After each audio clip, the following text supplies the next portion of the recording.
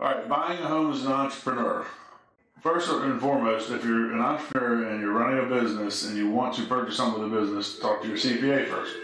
If you don't have a CPA, then get a CPA.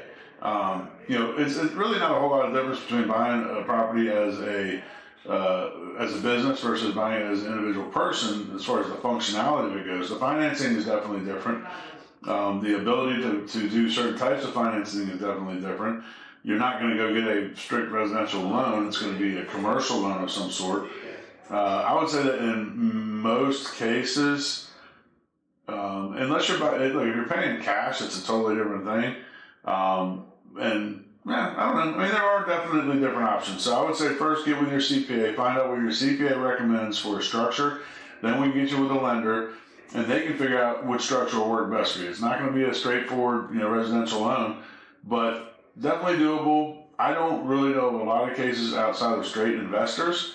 Uh, and most of the time they're just putting it into some you know sort of an LLC that was made just for that property and whatnot for a ton of different reasons. I don't really see a lot of reasons for an entrepreneur, so to speak, to purchase a home with their business unless they're going to use it for their business somehow. Did that answer the question? Hey guys, thank you for tuning in to Living in South Florida Does Not Suck. Please do subscribe with the notification bell on.